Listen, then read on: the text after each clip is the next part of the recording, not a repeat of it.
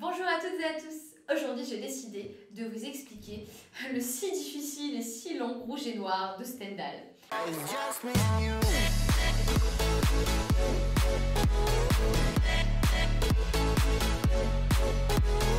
Alors, je ne sais pas si la majorité de vos professeurs ont décidé de vous faire travailler sur le sujet, mais je sais que c'est une œuvre très intéressante, très riche, le texte est évidemment assez gros, euh, je pense que si vous le faites tomber sur votre pied, il vous fera mal, mais sachez qu'il est fort intéressant, très riche, et que si vous le présentez à l'oral, évidemment votre correcteur sera très intéressé. Alors, je vous enjoins évidemment à nous rejoindre sur Nouvelle Classe pour regarder la vidéo entièrement.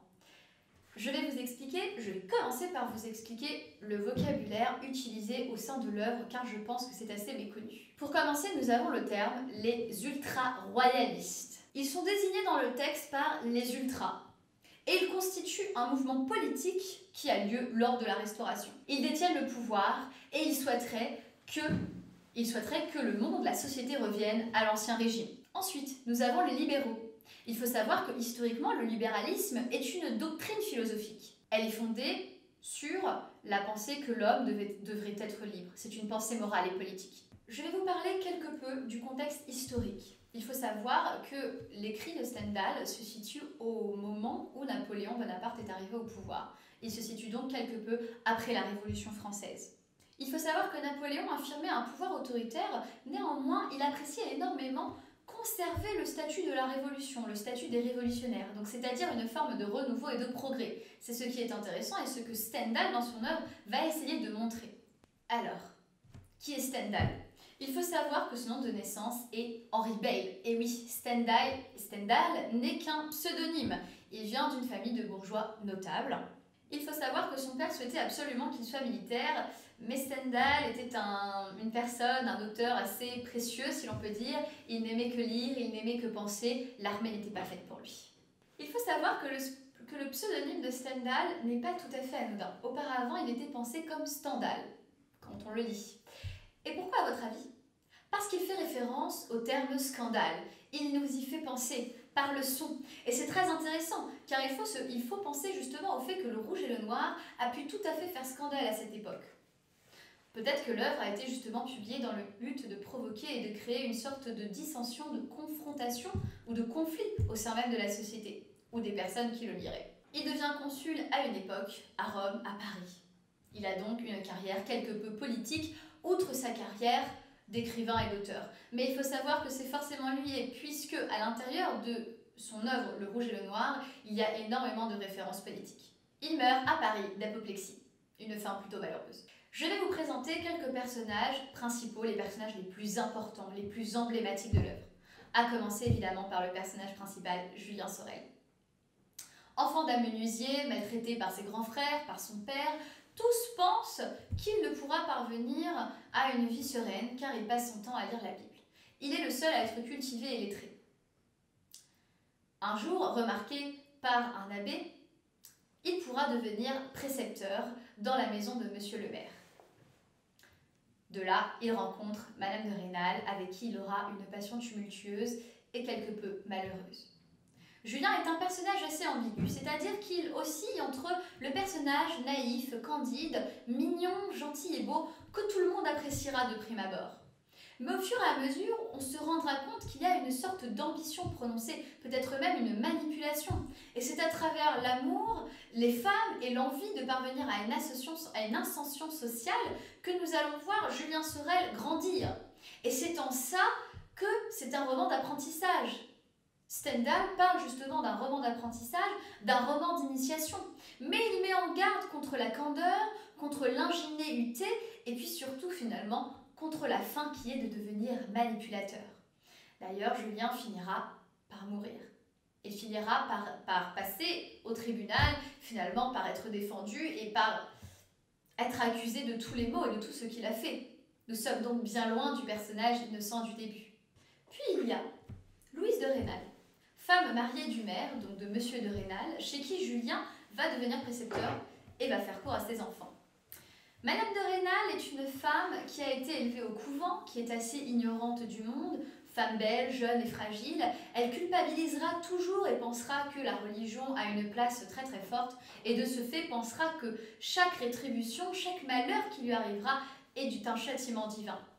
Elle s'éprend de Julien, de sa douceur, elle cherche à l'aider, la passion est tumultueuse, elle l'aidera énormément et le pleurera à la fin alors qu'il aura même tenté de la tuer. Fouquet, le meilleur ami de Julien. Il souhaite dès le départ que Julien ne devienne pas précepteur. Très lucide, intelligent et honnête, il fait figure du seul bourgeois qui finalement ne serait pas mal intentionné. Il soutient d'ailleurs Julien jusqu'à la fin et nous pouvons voir du coup une certaine loyauté et une amicalité et un thème d'amitié qui est très très important pour Stendhal. Mathilde de la Mode, une autre femme encore qui va aider Julien à poursuivre son ascension sociale mais qui marquera aussi sa perte. Mathilde de la Mole, une jeune aristocrate aussi ambitieuse que Julien, et c'est ce qui a fait sans doute qu'ils se sont appréciés. Le seul, amour qu'elle connaît, la seule version des sentiments est ce qu'elle a lu dans les livres. Elle est ambitieuse, arriviste, riche, et n'aime que l'hypocrisie, devrais-je dire. Elle est vive, brillante et calculatrice, et c'est ce que Julien va apprécier. Il voudra se servir d'elle pour acquérir un titre. Mais évidemment, suite à certains problèmes que vous découvrirez, il est dès lors impossible de se marier avec Mathilde et c'est ce qui le mènera à sa perte. Je voudrais vous parler quelque peu du titre. Il faut savoir qu'au départ, le titre que Stendhal voulait attribuer à son œuvre était Julien. Et il s'est décidé par la suite de travailler et d'utiliser le rouge et le noir. Nous n'avons pas réellement d'hypothèse sur le sujet, mais quelques-unes peuvent quand même être euh, expliquées. Notamment déjà pour prendre l'habit militaire, de rouge et de noir, tout simplement. Puis il y a aussi une certaine pensée à la guerre. Le rouge, qui rappelle notamment le bonnet phrygien, mais aussi le sang. Et puis le noir, l'époque du réalisme assez obscur dans laquelle Stendhal souhaiterait sortir.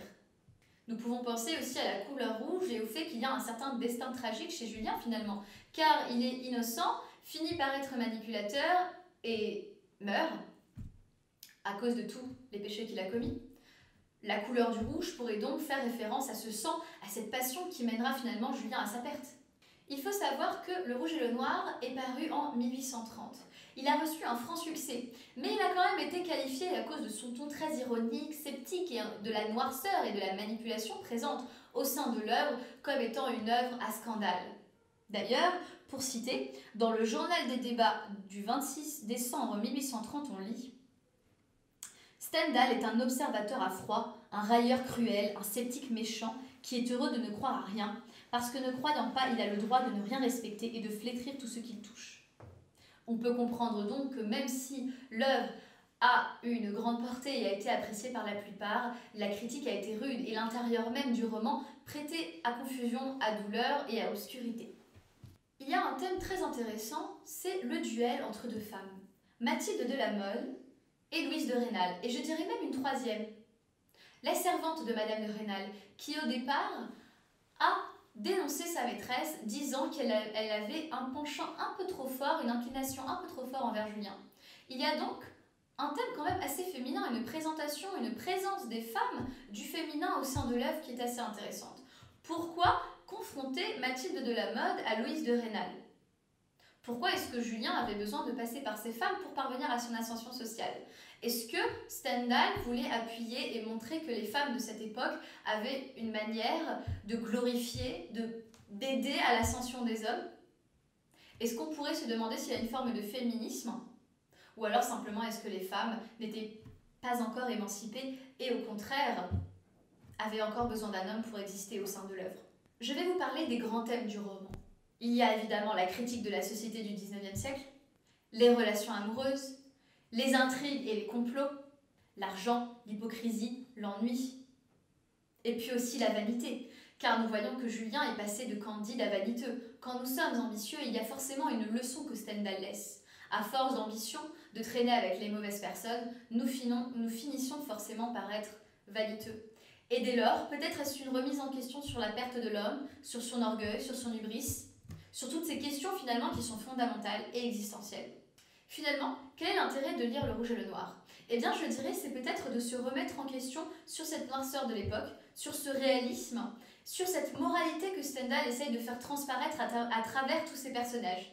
Finalement, on pourrait se demander, le personnage de Julien, Est-il seulement des jeunes personnes qui sont avides d'entrer en société ou n'est-ce pas justement une manière de présenter la société du 19e siècle et de montrer justement qu'elle imposait à la société, aux individus, d'être au départ des personnes naïves, candides et admirables, mais finalement de devoir se pervertir pour parvenir à, pour parvenir à un meilleur but, pour parvenir à être riche. Peut-être même est-ce une remise en question du but de la vie, des questions fondamentales et existentielles. Que faut-il faire pour être heureux finalement? Comment atteindre le bonheur? Faut-il faire comme Julien et finir avec une tête coupée? Ou alors simplement essayer de trouver notre bonheur ailleurs Voici pour Le Rouge Je sais que c'est une œuvre compliquée, mais j'espère avoir réussi à clarifier quelques points. Je répète, n'hésitez pas à poser des questions et puis surtout à regarder mes commentaires qui portent sur Stendhal, Le Rouge et le Noir, et qui vous aideront, j'en suis sûre, à travailler durant cette année. Bon courage à tous et à très bientôt sur Nouvelle Classe.